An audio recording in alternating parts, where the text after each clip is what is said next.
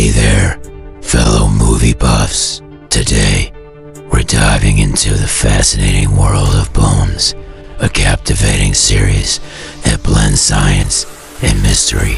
Let's explore some intriguing tidbits you might not know about this beloved show. Did you know that the character Booth is actually a fan of the Beatles?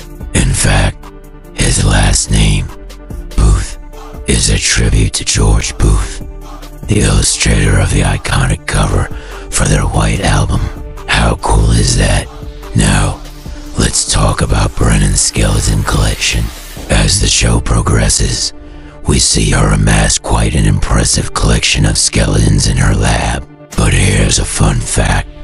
Only five different skeletons are used throughout the entire series. Talk about efficiency in filmmaking. And speaking of efficiency, you ever notice that Hodgins Sports appear in some scenes, but not in others? Well, it turns out that actor TJ Thyne prefers to work without a beard when shooting close-up shots. So, for those scenes, they cleverly edit out his facial hair.